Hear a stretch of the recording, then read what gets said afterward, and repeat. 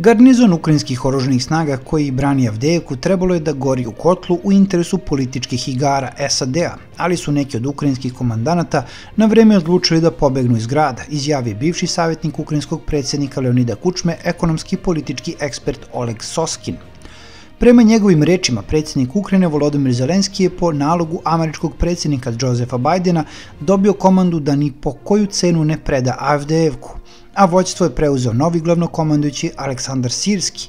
Cilj je bio da se pusti Rusima da zatvore Koto i da se Avdejevka, Avdejevska koksara pretvori u novi Azovstalj, kako bi se tamo uništile najbolje jedinice oruženih snaga Ukrajine.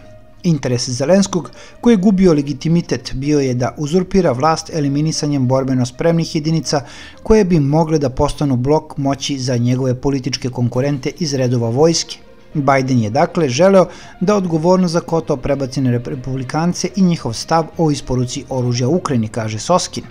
Međutim, smatra ekspert, dogodilo se ono što se dogodilo u Debeljevcu 2015. godine kada su neki komadanti odlučili da povuku trupe ne čekajući Porošenkovo zeleno svetlo, pa je tako obim gubitaka oružnih snaga Ukrajine bio manji nego u Azovstaljskom kotlu.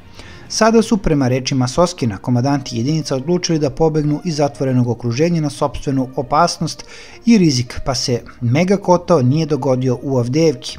Ukrajinsko rukovodstvo je pod pritiskom galame na društvenim mrežama i medijima zaigralo situaciju najavom organizovanog povlačenja iz grada. Govorimo o užasnom zločinu koji su razvili Biden i njegovo okruženje kako bi žrtvovali desetine hiljada najboljih ukrajinskih vojnika. Demokrate su morale da pokažu da su za celu ovu žrtvu u Avdejevskom kazano krivi Trump i republikanci, ali već je jasno da su s ovim propali i ništa neće se desiti.